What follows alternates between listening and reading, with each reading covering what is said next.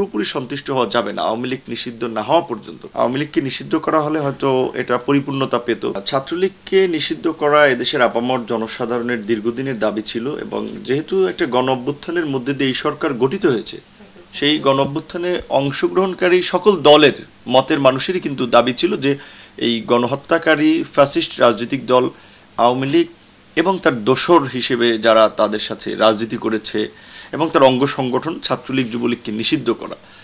এই নিষিদ্ধ করাটা দেরিতে হয়েছে বলে অনেকের মধ্যে আসলে শঙ্কা ছিল যে তাহলে সরকার কি আওয়ামী লীগকে পুনর্বাসন করতে যাচ্ছে কিনা। তো সবশেষে অন্তত তারা ছাত্র সহ সর্বস্তরের মানুষের দাবি এবং চাপের মুখে আজকে আনুষ্ঠানিক গেজেট প্রকাশ করেছে। সেজন্য সরকার একটা ধন্যবাদ পেতে পারে এবং সাহসী সিদ্ধান্ত নিয়েছে। কিন্তু এতে কিন্তু পুরোপুরি সন্তুষ্ট হওয়া যাবে না। আওয়ামী লীগ নিষিদ্ধ না হওয়া পর্যন্ত। সর্বোচ্চ বিদ্যুৎ সাশ্রয় যমুনা এসি। মাত্র চব্বিশ টাকায় এসি চলবে সারাদিন যমুনা এসি। কারণ আওয়ামী লীগের যে চরিত্র আমরা পঁচাত্তরে দেখেছি মুক্তিযুদ্ধের পরপর মুক্তিযুদ্ধের অবিসংবাদী নেতা শেখ মুজিবুর রহমানের নেতৃত্বে দেশে একটা একদলীয় শাসন একটা ফ্যাসিবাদ বাকশাল কায়েম হয়েছিল। পঁচাত্তরে বঙ্গবন্ধু শেখ মুজিবুর রহমান নিহত হওয়ার পরে একুশ বছর আওয়ামী লীগ ক্ষমতার বাইরে ছিল। ছিয়ানব্বই এসে তারা পাঁচ বছর ভালোভাবে চালিয়েছে।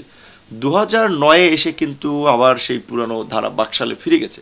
কাজে এই আওয়ামী লীগকে যদি নিষিদ্ধ না করা হয়, আওয়ামী লীগ সুযোগ পেলে আবার সেই একই পথে হাঁটবে।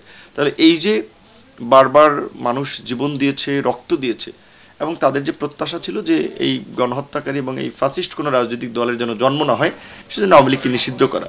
আওয়ামী লীগকে নিষিদ্ধ না করা হলে ভবিষ্যতে তারা দেশের জন্য হুমকি হয়ে দাঁড়াবে। সেই জায়গা থেকে আওয়ামী লীগকে নিষিদ্ধ করা হলে হয়তো এটা পরিপূর্ণতা পেত। তারপরেও সরকার কাজ শুরু করেছে, সেজন্য তাদেরকে ধন্যবাদ জানাই। বাংলাদেশের এই অভ্যুত্থান কিন্তু তিপ্পান্ন বছরে একবার হয়েছে। মানে অনেকে বলছে এটাকে দ্বিতীয় স্বাধীনতা, কিন্তু আমি দ্বিতীয় স্বাধীনতা মনে করি না। স্বাধীন একবারই হয়, আমি মনে করি দ্বিতীয় মুক্তির সংগ্রাম আমাদের। মুক্তিযুদ্ধের মধ্য দিয়ে আমরা একটা ভূখণ্ড পেয়েছিলাম, এখন আমরা রাজনৈতিক মুক্তি অর্জন করতে পেরেছি। তো এই তিপ্পান্ন বছরের মধ্যে একবার অভ্যুত্থান হয়েছে। তাহলে আবার যদি অভ্যুত্থান হয়, তাহলে আরও পঞ্চাশ বছর হয়তো।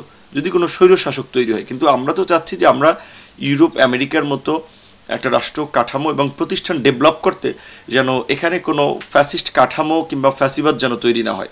সেখানে যেহেতু আওয়ামী লীগকে নিষিদ্ধ করাটা দাবি উঠছে, কাজে আওয়ামী লীগের ভবিষ্যতে রাজনীতিতে ফেরার সম্ভাবনাই নাই। ক্ষমতায় আসা তো আরও দুরূহ ব্যাপার।